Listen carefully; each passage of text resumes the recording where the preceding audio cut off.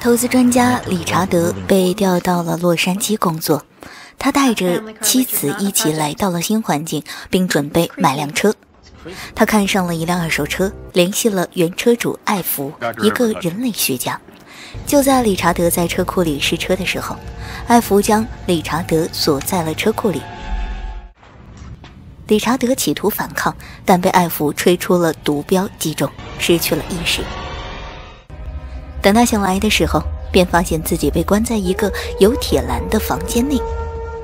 第一个见到的人是艾弗的妻子葛丽瑞，一个面色苍白又笑容诡异且患有广场恐惧症的女人。她正打量理查德。理查德与葛丽瑞交涉无果后，疯狂的理查德开始在房间里寻找出路，可惜结果不尽人意。次日一早，格丽瑞为理查德准备了贴心的早餐服务，并将理查德手机的来信转换成音频给了他。在录音里，理查德听到了妻子焦急的声音和昔日下属的抱怨的电话，这让他的内心更加焦虑，继续寻找生机。在地板上，他意外发现了一串文字：“罗纳德曾到此。”此时，理查德恍然，原来自己并非是第一个被如此对待的人。时间一天天过去，理查德被囚禁的状况依旧没有任何改变。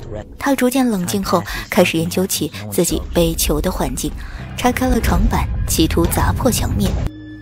他砸出一个小洞，透过洞看到了外面的世界，让理查德感到了一丝生机。但随后，艾弗在理查德的面前将另外一个被麻醉的陌生男人斯塔里的心脏活生生取出来使用。面对这一幕，崩溃的理查德才知道艾弗和葛丽瑞将自己囚禁起来的原因。他不过是他们眼中即将烹饪的大餐。在这段被囚禁的日子里，与理查德能聊上两句的只有葛丽瑞。葛丽瑞向理查德讲起了自己在年少时杀掉孪生妹妹的过往，尽管很恐惧，但理查德认为攻破葛丽瑞的心理防线是现在唯一的生路。不过，这唯一的生路被艾弗随后的话打破。原来，艾弗和格丽瑞曾在野人部落里生活过，也是在那里，二人第一次使用人肉，而人肉治愈了格丽瑞多年的顽疾。这是格丽瑞不会放走理查德的根本原因。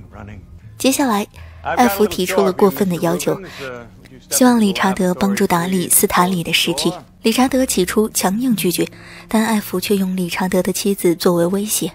无奈权衡之下，理查德开始按照艾弗的要求，将斯塔里的尸体割成小块。他一边肢解尸体，一边呕吐，也意外发现斯塔里的胫骨对自己出逃有帮助。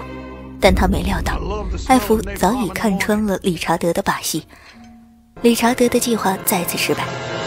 等了许久，理查德的机会终于来了。艾弗要出差六周，理查德准备利用这个时间彻底攻破葛丽瑞这道防线，企图在葛丽瑞的身上找到囚禁自己房间的钥匙。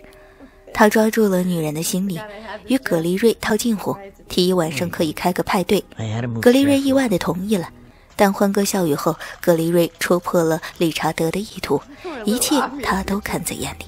但他没办法帮助理查德，因为钥匙一直在艾弗的身上。派对最后不欢而散。之后的几天，理查德和葛丽瑞的关系都很僵硬。直到理查德绝望的时候，癫狂的葛丽瑞再次出现。他声称自己和灵媒交流过，并决定与理查德一起离开这里。他透露自己并非是广场恐惧症，而是被艾弗的萨满诅咒困在了这里。格里瑞是有囚室钥匙的，但沉迷咒语的他拒绝用钥匙将理查德放出来。他认为如果自己这样做了，就会遭到惩罚。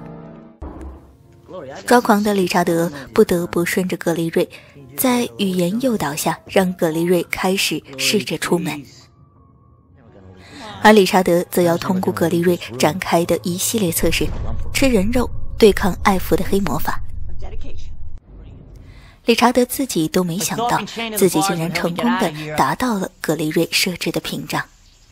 理查德的成功也让格雷瑞战胜了自己，他终于成功的走出了家门。出逃计划终于可以实施，但艾弗却提前回来了，并决定马上享用理查德。格雷瑞偷偷换掉了要给理查德喝的东西，然后躲在了监控器后，看着理查德即将被艾弗杀掉。在生死一刻，理查德用早已准备好的匕首捅进了艾弗的眼睛，二人扭打在一起。打斗中，艾弗的另一只眼睛也被捅下，并被理查德杀死。但让理查德没想到的是，此时的格里瑞露出了真面目。他从未疯癫，也从未想过放走理查德。他离开了房子，彻底囚禁了理查德。某日，当警察终于找到理查德的时候，他靠着吃艾弗的尸体存活了下来，但却生不如死。